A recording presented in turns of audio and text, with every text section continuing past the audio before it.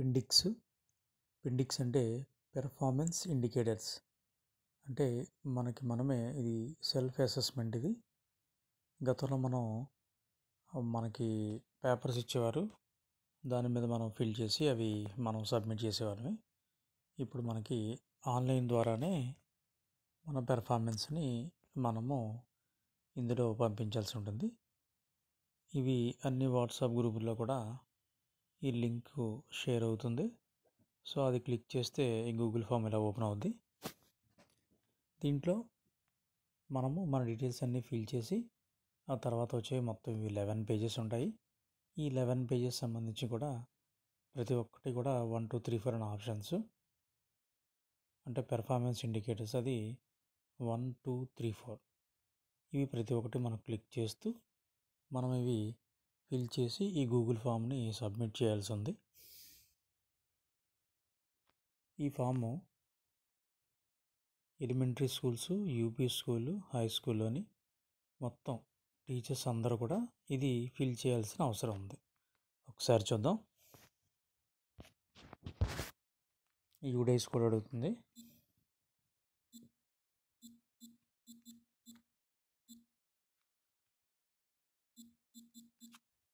ఇప్పుడు వేసుకోండు district name.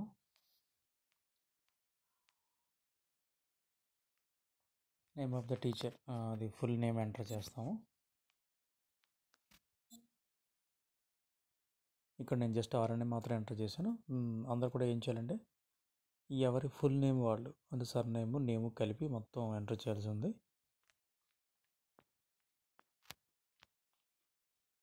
ఇది మనకి ఈ ట్రెజరీ అయితే ఉంటుంది కదా అదొకటి. అది మనం పెట్టేస్తాం.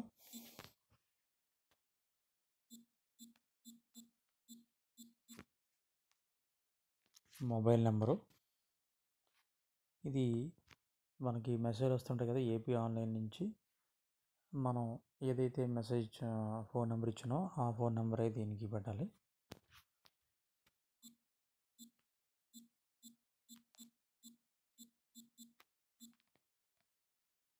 నెక్స్ట్ నెక్స్ట్ అనేది మనం ప్రెస్ చేస్తాం.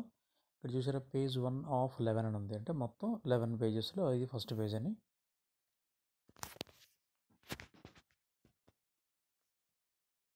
ఇక్కడ ఏమి ఇస్తున్నాడు చూసారా సెకండ్ పేజీలో. అకాడమిక్ క్వాలిఫికేషన్ విత్ సబ్జెక్ట్స్ అంటున్నాడు.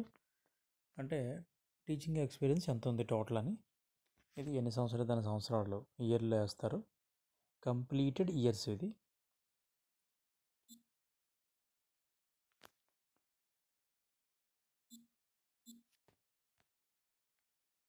Teaching classes. మనం ఏ క్లాస్ అయితే డీల్ చేస్తున్నామో అంటే వన్ టూ డీల్ చేస్తే వన్ టూ పెడతాం త్రీ ఫోర్ అయితే త్రీ ఫోర్ ఫోర్ ఫైవ్ అయితే ఫోర్ ఫైవ్. అదే హై స్కూల్ వాడైతే సిక్స్ టు టెన్ డీల్ చేస్తున్నట్టుంటే సిక్స్ టు టెన్ పెట్టాలి. ఇది ఏ టీచర్కి ఆ టీచర్ ఇండివిజువల్గా చేయాల్సిందే. In service education programmes attended during last five years. గత ఫైవ్ ఐదు సంవత్సరాల్లో ఏవైనా ఇన్ సర్వీస్ సిటీస్ అంటే మన ట్రైన్స్ అవుతుంటాయి కదా. ఆనంద వేదిక అని తర్వాత ఎల్ఈపి సంబంధించి ఇలా ఏ ట్రైనింగ్ అయినా అటెండ్ అవుతుంటే దానికి మనం ఎస్ పెట్టాలి.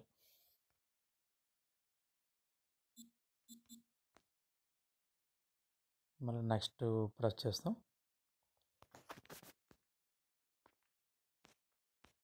చూసారా? ఇక్కడ నుంచి మనకి వన్ అని వచ్చింది. Designing learning experiences for children అన్నాడు. ఇక్కడ రేటింగ్ స్కేల్ ఇది one two three four rating scale ఇది. అంటే మొత్తం ఈ డొమైన్స్ అన్నింటిలో కూడా రేటింగ్ స్కేల్ అంటే మనం మొత్తం అది చదువుతాం. చదివి ఇది వన్ టూ త్రీ ఫోర్ మనం అది క్లిక్ చేయాల్సి ఉంది. Planning for designing learning experiences use textbooks and other relevant documents while planning తర్వాత చూసారా? Uses record of students performance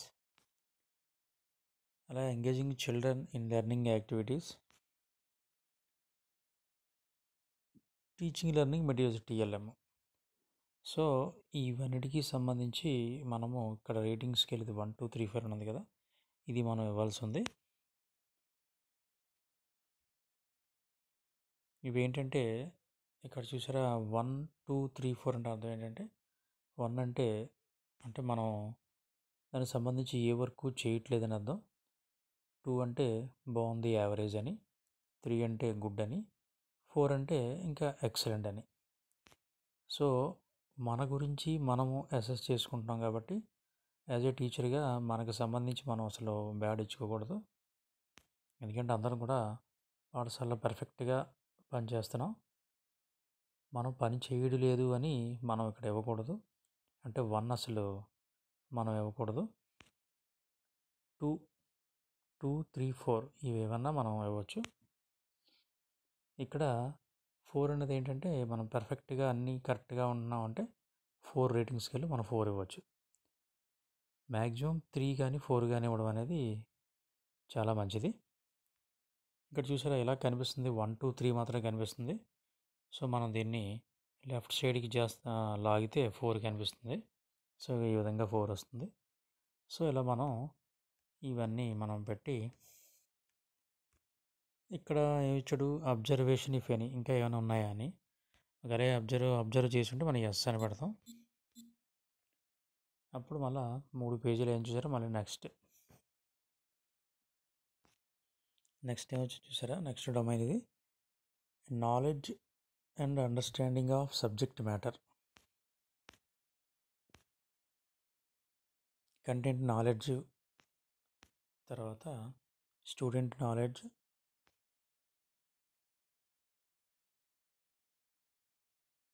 Subject knowledge. తర్వాత corrects errors made by students.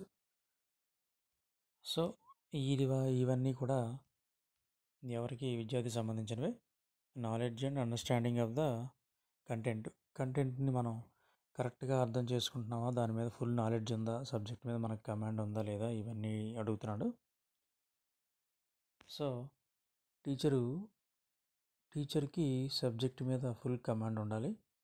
కాబట్టి ఇవన్నీ కూడా మనం వన్ టూ అని కాకుండా త్రీ ఫోర్ లాంటివి మనం పెట్టడం మంచిది. సో ఇవి కూడా ఇచ్చేసి మళ్ళీ మనం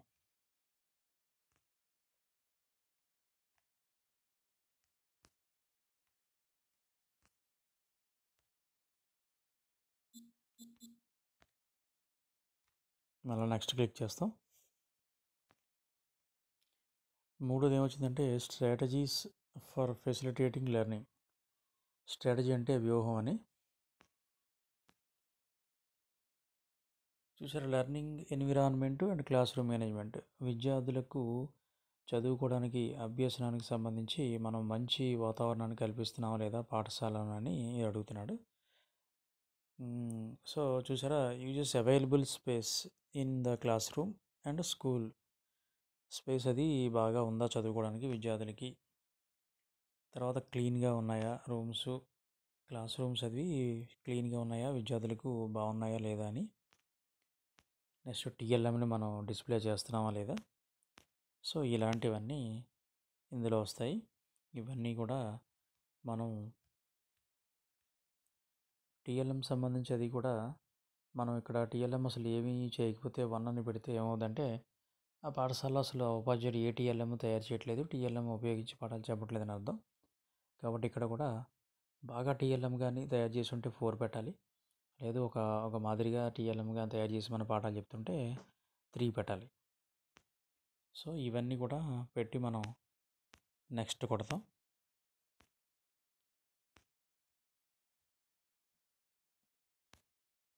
చూసారా తర్వాత ఏమొచ్చిందంటే కమ్యూనికేషన్ స్కిల్స్ సంబంధించి ఇక్కడ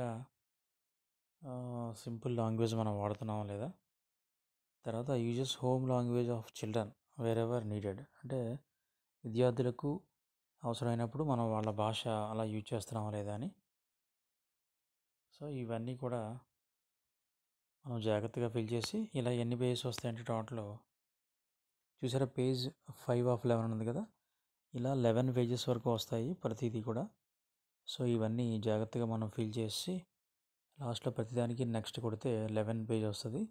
లెవెన్ పేజ్లో కూడా మనం అన్నీ క్లియర్ చేసి అన్నీ మనం ఫోర్ కానీ త్రీ కానీ ఏమైనా పెట్టి నెక్స్ట్ మనం నెక్స్ట్ అని కొడితే అప్పుడు ఫైనల్గా మనకి ఏమవుతుందంటే సో మీ రెస్పాన్స్ రికార్డు అయింది అని వస్తుంది. సో అప్పుడు మనకి అపెండిక్స్ అనేది మనం కంప్లీట్గా సబ్మిట్ చేసినట్టు అవుద్ది. దీంట్లో మిగతా ఇంకేముంటాయంటే టీచర్ సబ్జెక్ట్ నాలెడ్జ్ ఒకటి తర్వాత పేరెంట్స్ కమిటీ సమావేశాల గురించి ఒకటి నెక్స్ట్ మనం మంచి టీచింగ్ అండ్ లెర్నింగ్ ప్రాసెస్లో మన విద్యార్థికి బాగా అన్ని ఫెసిలిటీస్ కల్పిస్తున్నామా లేదా అన్నది నెక్స్ట్ సమాజ భాగస్వామ్యంలో ఉపాధ్యాయుడు కరెక్ట్గా ఉన్నారా లేదా? సమాజ భాగస్వామ్యంలో మన పాత్ర ఎలా ఉంది? అది కూడా వన్ టూ త్రీ ఫోరే. అంటే అసలు ఏమి సమాజ భాగస్వామ్యంలో ఏమి మన టీచర్ పాత్ర లేకపోతే వన్ ఉంటే రెండు కొంచెం బాగా ఉంటే మూడు ఇంకా వెల్. సమాజంలో మనం బాగా కలిసిపోయి చాలా బాగా రన్ చేస్తున్నామంటే అది ఫోర్ అని. సో మ్యాక్సిమం ఏంటంటే త్రీ ఫోర్ అనేది టాప్ రేటింగ్ వన్ టూ అనేది తక్కువ. అదొకటి జాగ్రత్తగా గుర్తుపెట్టు గుర్తుపెట్టుకొని మనము ఇది ఫిల్ చేయాల్సి ఉంటుంది. నెక్స్ట్ ఇందులో ఇంకొక దగ్గర వన్ టూలు పెట్టాల్సిన అవసరం ఎక్కడ వస్తుందంటే మనకి నెక్స్ట్ పేజీల్లో ఏముంటుందంటే టీచరు ఏమైనా పేపర్స్ కానీ మ్యాగజైన్స్ కానీ ఓన్గా ఏమైనా అంటే రీసెర్చ్ పేపర్స్ అలాంటివి ఏవైనా మన మనకు సంబంధించి ఏమైనా జర్నల్స్లో పబ్లిష్ అయి ఉంటే అలాంటి దగ్గర మనం మనకి పబ్లిష్ అయితే త్రీ ఇలాంటి పెట్టాలి. సో సాధారణంగా అలాంటివి కానీ ఏమైనా జర్నల్స్ కానీ మ్యాగజైన్స్ కానీ మన ఓన్గా రాయడం ఇలాంటివి ఏవి లేనప్పుడు అక్కడ వన్ పెట్టడం మంచిది. దానికి మాత్రం వన్ కానీ టూ కానీ మిగతా అన్నీ కూడా త్రీ ఫోర్ పెట్టడం మంచిది. అలాగే మనం పెట్టాలి. సో ఈ విధంగా అన్ని ఫిల్ చేసి లెవెన్ పేజెస్ అయిన తర్వాత మనం ఫైనల్ సబ్మిట్ అనేది వస్తుంది. అది క్లిక్ చేస్తే మన రెస్పాన్సెస్ రికార్డ్ అయిందని మనకి క్లియర్గా స్క్రీన్లో చూపిస్తుంది. సో ఇది మనకి ఈ ఇయర్కి సంబంధించి ఫస్ట్ క్వార్టర్ ఇది. యాక్చువల్గా ప్రతి ఇయర్కి కూడా మనం ఫోర్ క్వార్టర్స్ ఇలాంటివి నింపాలి. ఇవే పెండిక్స్ పెర్ఫార్మెన్స్ ఇండికేటర్స్. ఇవి ప్రతి టీచరు మనం ఖచ్చితంగా ఇది ఆన్లైన్లో ఫిల్ చేసి గూగుల్ ఫామ్ ఫిల్ చేసి సబ్మిట్ చేయాల్సి ఉంది. Thank you